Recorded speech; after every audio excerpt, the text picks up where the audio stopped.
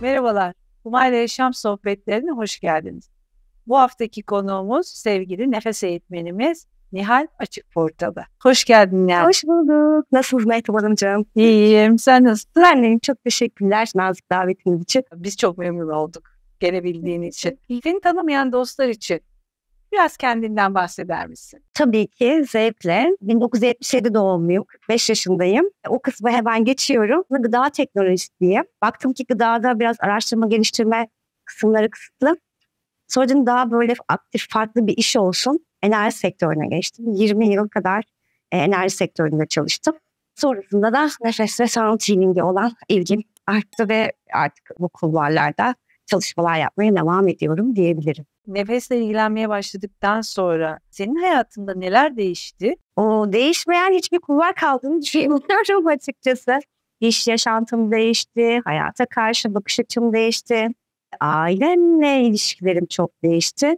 Ve aslında arka plandaki duyguları yönetebilme becerisi sanırım hani elde edebildim bu süreç içinde diyebilirim. Nefes almak önemli. Peki doğru nefes almanın hayatımızdaki önemi nedir? Burada fizyolojik önemi var, zihinsel önemi var ve işte ruhsal dediğimiz aslında duygularla ilgili olan kısmıyla ilgili e, üçlü bir önem var. Aslında bu üçlü de bizde bir bütünü oluşturuyor. Aslında kendi bütünlüğümüzün içindeki denge için doğal dediğimiz aslında ama doğru nefes diye de tabir ettiğimiz nefes almak her anlamda insanın hem işte fiziksel hem zihinsel hem de duygusal konularındaki dengeye kavuşmasını sağlıyor aslında. Yaptığımız bu. Nefesimizi kontrol etmek, doğru nefes almak bu kadar kolay mı yani? Evet çok aslında diyorsun. Şey diyorum e, demeye de devam ediyorum. Bu konuyla ben ilgilenmeye ne zaman başladım aslında e, oradan da girip de bağlamak istedim. 10 yıl önce böyle benim biraz erken baba kaybım var, eş kaybım var. İşte işle ilgili çok yoğun çalıştığım için işle ilgili, öfkeyle ilgili, stresle ilgili konularla ilgili bazı böyle hani hayat kalitemi düşüren şeyleri fark ettim aslında. Ondan sonra e, işte psikologlarla çalıştım. Sonra kuantum olan dediğimiz biraz enerji alanıyla çalıştım. İkisindeki ortak nokta aslında nefes tutmamdı ve nefesle ilgili olan bağlantıydı. Bu iki noktadaki hatırlatmalar beni aslında nefese yönlendirmişti. Burada nefesi ben işte dakikadaki altı nefes yani derin dediğimiz dinlenik haldeki nefes yavaş yavaş yavaşlata yavaşlata hayata olan algım, bağlantım ve o denge durumundaki dönüşümleri görebildim. Bu tür şeyler yaşamış, background'ında böyle şeyler olan insanlarda bu bir denge sağlıyor diyebilirim. Yani en azından benim için öyle bir şey oldu diyebilirim. Daha sonra tabii eğitimlerini alıp evet.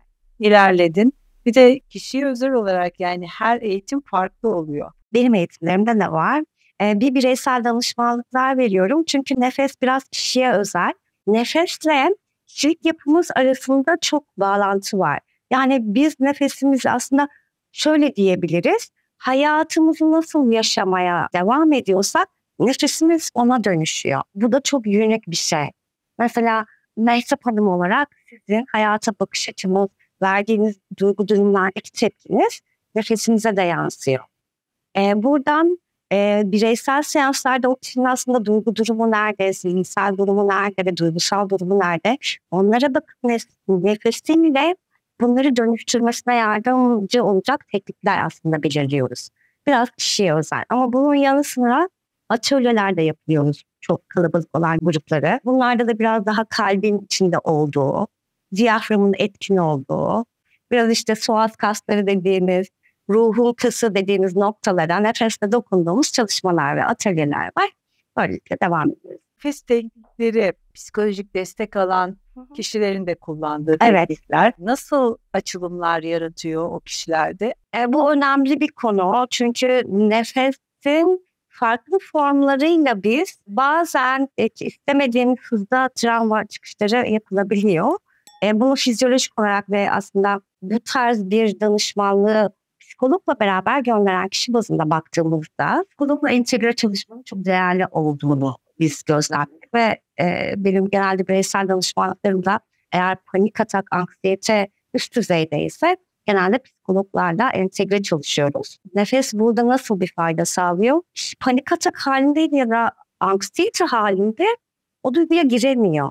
karşıdaki soruyu algılayamıyor. O anıya gidemiyor. E bu da onların çalışmasına ket vuruyor. Biz burada ne yapıyoruz nefes teknikleri uygulayan ya da bu alanda hizmet veren kişiler olarak? Psikologlarla beraber o kişinin daha dengede, daha sakin nefeslere yönelmesini sağlayarak onların çalışmalarına yapılacak en yüksek faydası için aslında alan açıyoruz. İşte biraz dinginleştiriyoruz. Psikoloğa katkısı oluyor.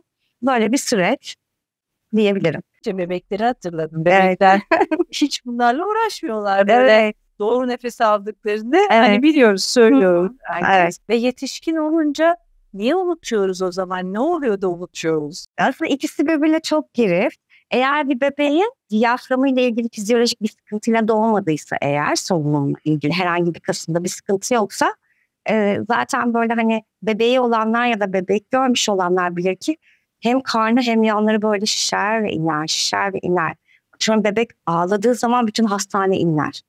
Yani biz bu yaşta böyle bağırsak bile o kadar inletecek kadar yapamıyoruz. Çünkü onların yani gerçekten olan default ayarı buraya gelirken her şey çok sağlıklı ve doğru. Ama ne zaman böyle 3-4 yaşa geliyoruz, işte ailemiz ya da yaşadığımız şeylerle beraber o işte diyaframı kitleme olayına girdikçe biraz daha nefesi artık daha kısıtlı almaya başlıyoruz. Bu işte konularına, gündemine göre değişebiliyor. Her gün başka bir şeyle karşılaşabiliyoruz. Evet. Olumlu, olumsuz.